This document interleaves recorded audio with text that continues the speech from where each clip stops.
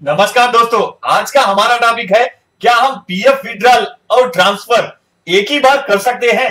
क्या सिस्टम इसे एक्सेप्ट करेगा? अगर एक्सेप्ट करने के बाद क्लेम अप्रूव होगा या रिजेक्ट आज के इस वीडियो पर लाइव में एक क्लाइंट का आपको करके दिखाने वाला हूँ, जिसे देखकर आप खुद अपने मोबाइल पर आसानी से कर सकते हैं।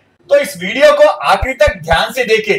अगर आप नए हैं तो प्लीज़ थोड़ा सब्सक्राइब बटन पर दबा देना। तो सबसे पहले यूएन पोर्टल ओपन करते हैं, फिर यहाँ सर्विस डिटेल पर चलते हैं। आप देख पा रहे हैं कि इनका दो पीएफ अकाउंट है। अब इनमें एक में से विड्रॉ करने वाले हैं और दूसरे को ट्रांसफ़र करने वाले हैं। अब इन दोनों अकाउंट पर बैलेंस चेक करते हैं। आप यहाँ देख पा रहे हैं कि इन दोनों अकाउंट में बैलेंस है। एक में ज़्यादा, एक में कम। अब जिस पर ज़्यादा है, उनमें से निकालने वाले हैं।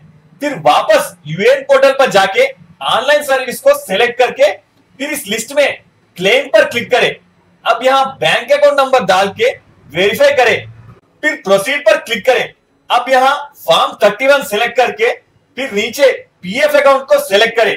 फिर नीचे अमाउंट डाल के पासबुक अपलोड करने के बाद आधार ओटीपी डाल के कंफर्म कर दीजिए। अब हमारा क्लेम सक्सेसफुल हो चुका है। अब हमें करना है ट्रांसफ़र इसके लिए फिर ऑनलाइन सर्विस को सिलेक्ट करें। अब इसमें ट्रांसफ़र रिक्वेस्ट को सिलेक्ट करें। अब नीचे स्क्रॉल करके प्रेजेंट एम्प्लॉयर पर टिक करें। अब यहाँ पर अपना पुराना पीएफ नंबर डाल के गेट डिटेल्स पर क्लिक करें। अब नीचे गेट ओटीपी पर क्लिक करें। अब अपना छह अंकों का आधार ओटीपी एंटर करके सबमिट कर दे।